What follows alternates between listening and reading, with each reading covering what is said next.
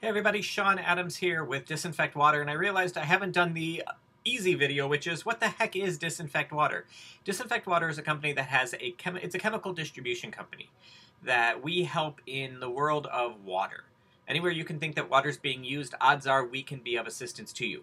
This is our main product. This is DW Liquid ROS. This is that product that is what it's, it's going to sound like snake oil, but trust me, just wait, you'll understand. This is a this is I don't want to say it, but I'm going to say it, but don't hold me to it because it's not really that. If there was a such a thing as liquid ozone, this would be it. There is no such thing as liquid ozone. I know there's no such thing as liquid ozone. You know there's no such thing as liquid ozone. If there was, this is it. This has similar effects as those giant $2 million ozone generating machines when it comes to helping clean water. This is a bottle of liquid that can be added to liquid to be able to effectively work on helping clean water. And that's true with any kind of water. We work with water treatment plants, we work with industrial water treatment plants.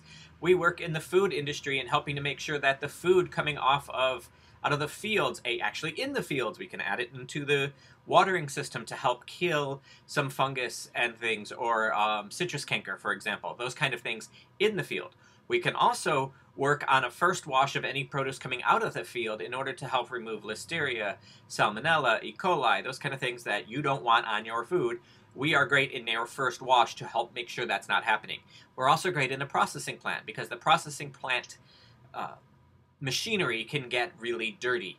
If this is added into the water you're using in that machinery, not only are we cleaning whatever is going through that system, we're actually cleaning the system as well. We have one system that had to shut down every two hours to clean.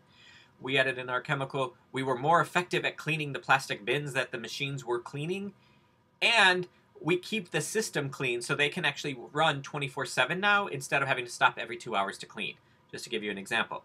So water treatment, wastewater treatment, uh, industrial water treatment, food industry. The other thing is in the oil industry. That's going to be a strange one for a lot of folks, but it's true.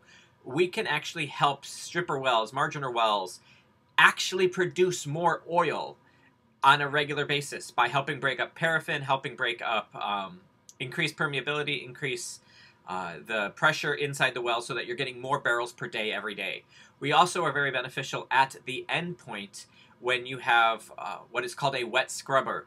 Uh, in a in oil production facilities, there's a lot of gas that's put off that has some chemicals in it you don't want going into the air, and so they put it through a thing called a wet scrubber.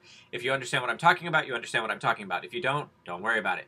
All you need to know is if you add our chemical into the wet scrubber, we're actually going to be able to decrease those chemicals going out into the air, which means we can decrease them to zero, which means that you actually get money back because you are actually not polluting. I know it's a weird thing. It works in the world of the oil production world. Just don't uh, if you don't understand it, that's great. Say that sounds cool, Sean. One other thing, this works in lots of different areas. It is DW Liquid ROS. Go ahead to disinfectwater.com. Check out, learn a little bit more. On there's our number if you want to call us to learn a little bit more. And I look forward to helping you do what you do better. Cheers.